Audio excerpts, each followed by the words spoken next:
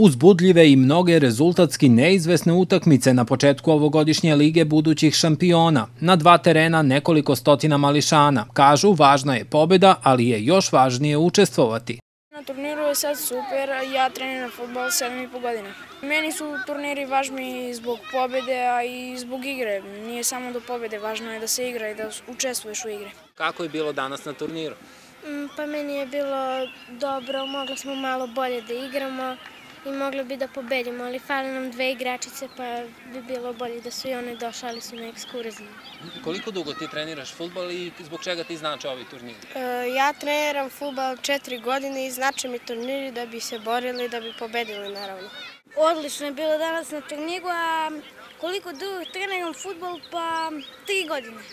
I zbog čega baš e, voliš futbol? Turniri, utakmice i zato što mogu da napredujem. Bilo je baš lepo. Lepo smo se svi proveli. Što ti voliš futbol? Zato što je zanimljiv sport i timski je. Koliko si utakmica odigrao danas? E, sad ćemo treću da odigramo, sad smo igrali dve. E, e, za malo da dam gol, imao sam dve šanse. Biće golova. Da. I šta sve učite u školi futbola?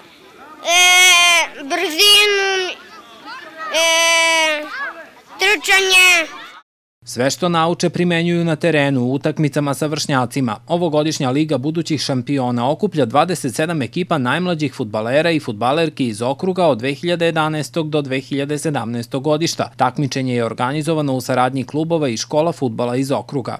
Na inicijativu Futbolskog kluba Radnički naravno uz podršku Okružnog futbolskog saveza i grada Pirota došli smo na ideju da organizujemo takmičenje za najmlađu decu, deca koja još uvek nisu na tom uzrastu gde bi imala takmičenja na nivou RISA ili na nivou Srbije.